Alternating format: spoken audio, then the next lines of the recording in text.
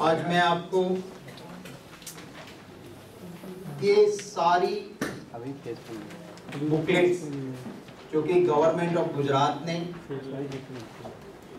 Print करवा के बार बार जब भी एम्पावर्ड कमेटी की मीटिंग मिली जीएसटी के सिलसिले में ये सामने वाले जो कहा था सामने लाइट जो स्टैंड था भारतीय जनता पार्टी का और स्पेशली मोदी गवर्नमेंट का अगेंस्ट जीएसटी इसकी ऑफिशियल गुजरात गवर्नमेंट ने प्रिंट करवा के जो एम्पावर्ड कमेटी में बुकलेट्स दी थी, उसकी काफ़ी भाजपा के प्रवक्ता ये भी कहते हैं कि जीएसटी तो यूपीए वाला था, उसका विरोध करना ही करना था। अब तो हमने एक जादू की छड़ी बना दी है। अब का जीएसटी बिल में कुछ विरोध करने जैसा नहीं मैंने एक और कॉपीज आपको दी है 11 दिसंबर 2014 भाजपा का जीएसटी बिल, मोदी गवर्नमेंट का जीएसटी बिल, उसका विरोध गुजरात गवर्नमेंट करती है और क्या कहती है? वो सारी चीज़ें उसमें हैं। मैं आपको कुछ चीज़ें यहाँ पे आपके सामने रखना चाहता हूँ। तो BJP government three D deception deceit and double speaks have become of Modi government implementation of goods and service tax GST has also other economic reform BJP government including prime minister and finance minister has been putting up false smoke screen by accusing Congress party for obstructing GST. While the real truth is that GST stand consistently red flag for last nine years by RSS and Swadeshi Jagran Manch.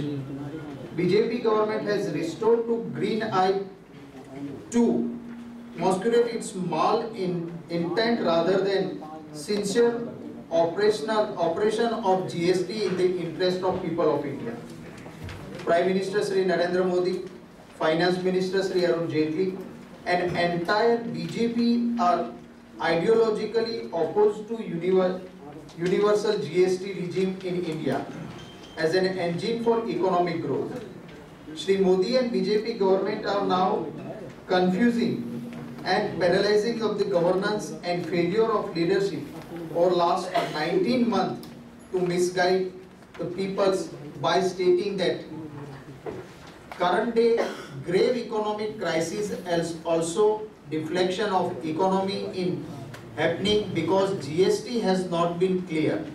Double speak and deception and red hearing of BJP's leadership, particularly Prime Minister Narendra Modi is opposing GST, is borne out from the overwhelming documentary evidence with the Congress party sits the place before 125 crore people of India.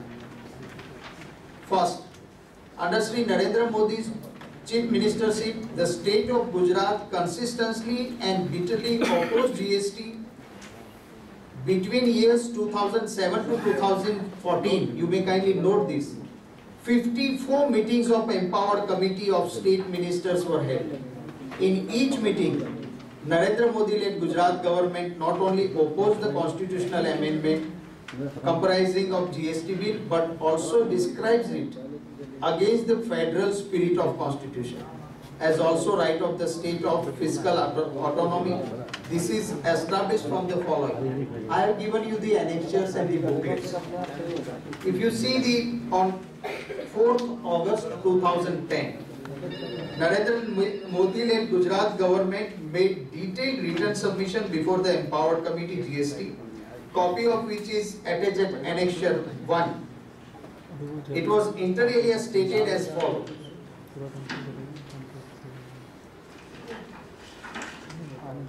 As I have mentioned before, the proposed constitutional amendment has come at a time when consensus is lacking even within the empowered committee on many features of GST. This amendment fundamentally alters the powers of states of levy, collect and indirect taxes. The powers of determined rate of taxes is basis of functions of legislative body like parliament or as the case may be, state legislators. Article 265 very clearly states that no tax be say, no tax shall be levied or collected except by authority of law. Thus provision proposed article 279A runs contrary to the existing pro- provisions of constitution. I find difficult to agree to wide-ranging powers given to GST council. Now, at that relevant time, पूरे GST को constitution के खिलाफ Modi government मानती थी। The power shall remain within legislators and administration purview of state कहते GST लाना ही नहीं चाहिए ये तो स्टेट के पावर्स है और स्टेट के पास ही है can not be to the council it will take away entire financial autonomy of the state अगर जीएसटी आ जाएगा तो जो वित्तीय स्वतंत्रता, जो कॉन्स्टिट्यूशनल राइट है राज्यों का, वो उनके हाथों से चला जाएगा। Again in the second meeting मैंने वो भी बुकलेट आपको दी है 20th September 2010 Modi led Gujarat government gave detailed written submission to the empowered committee on GST clearly opposing implementation of GST copy which is attached as annexure A2 it was inter stated as follows. Therefore Gujarat government does not support the proposed constitutional amendment in its present form.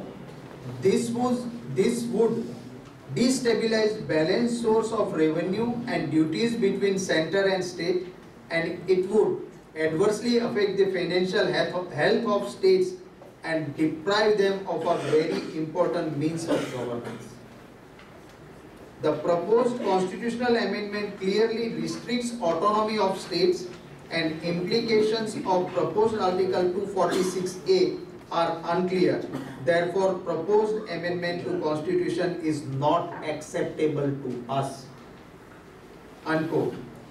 Once again on 29th October 2010, Modi-led Gujarat government gave detailed detailed submission to the empowered committee and vehemently opposed GST.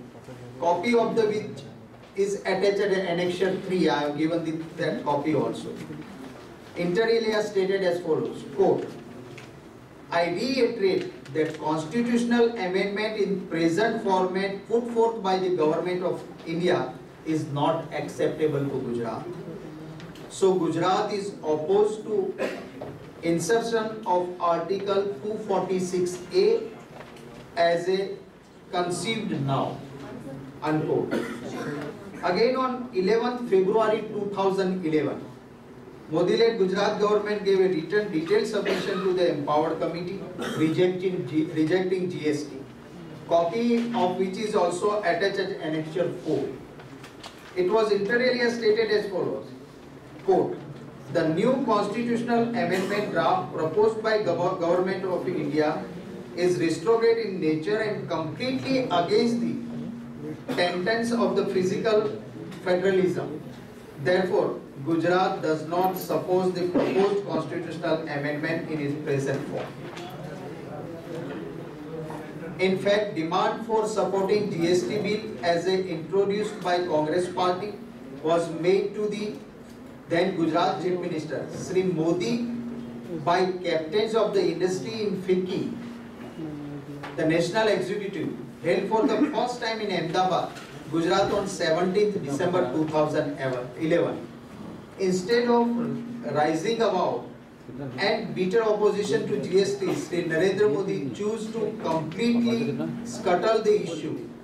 Uh, मैंने उसकी link लगाई है if you will just click there आपको उसकी detail वहाँ से भी मिलेगी even the current finance finance minister Arun Jaitley Shrimati Sushma Swaraj and the entire BJP leadership opposed GST bill tooth and nail, inside and outside the parliament between year two, years 2006 and 2014.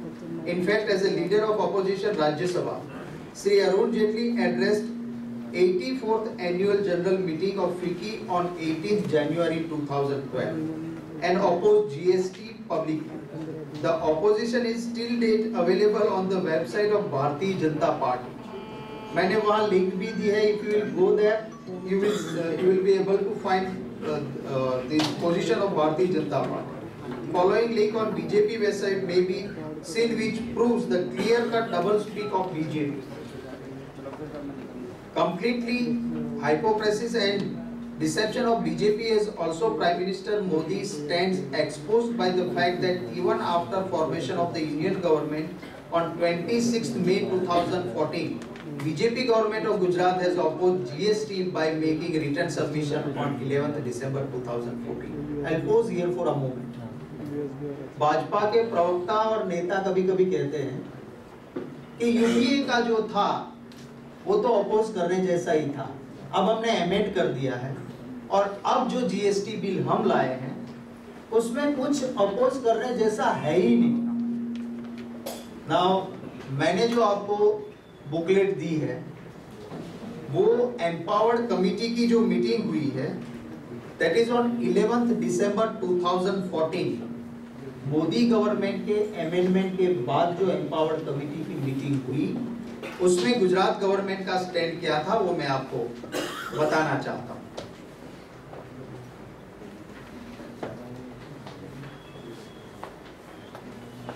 If you just uh, kindly see the uh, booklet there is a booklet of 11th December 2014 आपको जो दिया है उसके। इसमें अरुण जेटली वाला amendment आने के बाद का एनेक्चर A5 करके मैंने लगाया उसमें relevant portion I just read couple of lines and then I leave it to you आप उसको देख सकते हैं उसमें The states have time and again expressed their concerns through all these forums, mainly about the fiscal autonomy and adverse implication on the revenue of the state due to introduction of GST regime.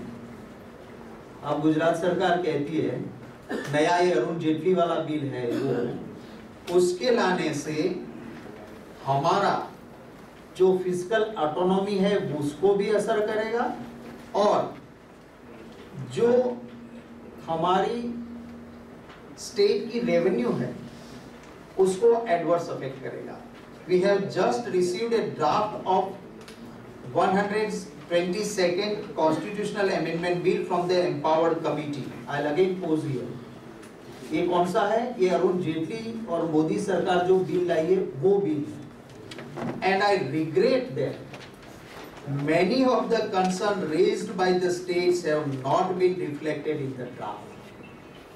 Gujarat के भाजपा की government उसके finance minister return में Modi government के GST bill को कहते हैं कि सारे स्टेट्स ने जो भी कंसर्न दिखाए थे उनमें से कोई चीज़ आपके ड्राफ्ट अमेंडमेंट में रिफ्लेक्ट नहीं होगी However, the state would lose their fiscal auto autonomy, which was continued when we moved from cell tax to regime VAT. हम सेलटेक से वेट में गए तो भी हमारे पास जो वित्तीय स्वतंत्रता थी, वो अरुण जेटली के जीएसटी बिल लाने से नहीं रहेगी। Honourable prime minister has launch make in India a The GST regime, the abolition of CST and the and the implementation of the destination principle would result to several severe losses to the manufacturing states that are also to net exporting states. Unquote. वो कहते हैं कि प्रधानमंत्री make in India की बात करते हैं पर अगर ये अरुण जेटली वाला जीएसटी बिल आ गया तो मैन्युफैक्चरिंग स्टेट को बहुत बड़ा नुकसान होगा Congress party has made three meaningful and constructive suggestions to make the GST bill people friendly, widely acceptable and implementable, which amongst the others including putting the constitutional cap of maximum rate of 18% taxation so as to not over the burden of the ordinary persons. हमने GST का पहले ला, लाने की कोशिश Congress party ने की। हम आज भी सिर्फ़ आवाम के लिए सिर्फ़ तीन बात छोटी तीन बातों के लिए हमारा सजेशन भी है और हमारा विरोध भी है और इस देशवासियों के हित में है।